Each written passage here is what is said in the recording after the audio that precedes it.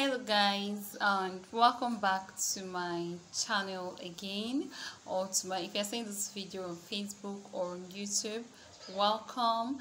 So this is for our natural hair people our natural hair. In fact this is both for natural hair and for pinned hair yes.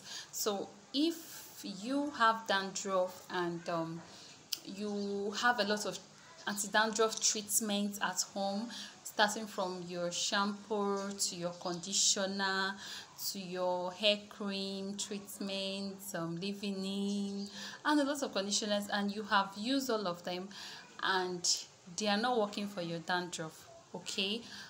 Don't worry this video is for you. I'm going to teach you how to apply those things correctly okay so let's get to it. First of all starting from your shampoo okay? So when you take off a braid or your cornrows or let's say you're weaving generally yeah? So when you take that off these are some of the things you have to take note of hmm? if you want to apply your shampoo i mean your anti-dandruff shampoo to your hair. So whether your natural hair or your pinned hair you are going to use the same method of application okay?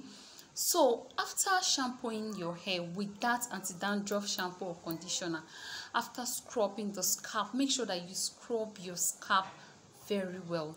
And note if you are on um pinned hair you don't use anti-dandruff shampoo or conditioner after retouching your hair because in fact i made a separate video for retouching.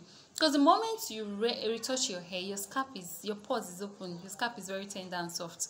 So you is a it's no it's chemical okay? So you cannot use that shampoo for your hair. Okay? Am i communicating? At that point. So you can use any other mild shampoo and conditioner but if after that relaxer application you can do this up as you can go ahead with this method i'm telling you now okay? So after washing your uh, after shampooing the hair i did not say rinse. After shampooing your hair my dear you have to go with a shower cap. Yes. That's if you're going to salon. But if you're washing it for yourself at home you should have a shower cap okay? And make sure you use your own shower cap. Don't use the one in the salon because um, a lot of um, hairstylists yeah do not maintain that proper hygiene. They don't sterilize their things. That's one of the benefits you get when you come to patronize us because we are very careful and very um uh, will I say we love our customers and their hair. So at the same time we try our best to um not infect or share things with other customers. We make sure we sterilize our stuff. So that aside make after shampooing your hair i did not say wash okay? After thoroughly after the first one washing the second shampooing shampoo you like you apply shampoo and scrub on your hair yeah? You're going to cover your hair with shower cap for 15 minutes. Yeah you heard me. For 15 minutes. I am not saying you should wash off the shampoo. I hope i'm making sense yeah so you're going to cover that hair on under shower cap for 15 minutes. Time it yes. All our phones have timer yeah. So you can as well time it so that you can be able to keep record of the time that shampoo is going to be on your scalp if you have dandruff on your hair okay? So this is the right way to use your anti-dandruff shampoo. Mm -hmm. Now when you have covered this your hair after 15 minutes you will rinse off the shampoo. Yes? After rinsing off you will towel your hair dry a little bit. Am i communicating? Before applying your anti-dandruff conditioner. You know most of us we just use those things without even reading the directions on each product. Yes. But this is just the best way to apply your conditioner or shampoo. All those treatments for anti-dandruff these are one of the best ways to apply them okay? So now after applying this um what's it called? What what am i even talking about?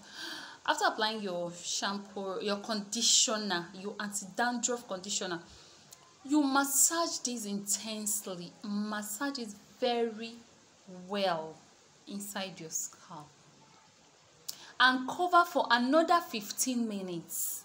Yes you heard me. After that you will wash your hair. You rinse off the conditioner because that conditioner is not is not a leave-in conditioner. It is a rinse out conditioner. And when you leave a rinse out conditioner on your hair for a longer period or even leave it till the next day two days or more it will over condition the hair. Let me put it that way. And then your hair will break. Mm -hmm. so you have to cover the, the shower cap on that treatment for how many minutes again? 15 minutes. Then after 15 minutes you do what? You rinse out. Am i communicating? All right. So after that section if on pink hair please you will dry your hair. Yes. So after drying your hair what next do you want to do?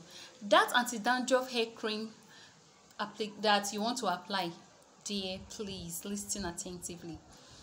You are going to cut your hair in sections and apply if you go through my facebook videos you see how when i i showed a video or an example of what i mean what i mean by applying hair cream on your scalp. So go and look for it on the or i will just drop the link of that video in the comment section okay so you're going to apply that anti-dandruff treatment whether the one you the diy hair treatment you made for yourself whether the one you bought outside it, it doesn't matter the products you are using.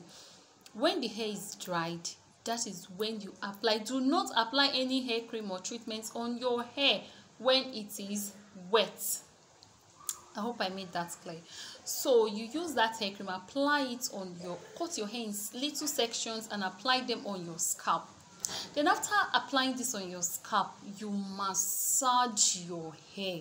Ah when i say massage massage your hair. Well this video might come in two um part one and two.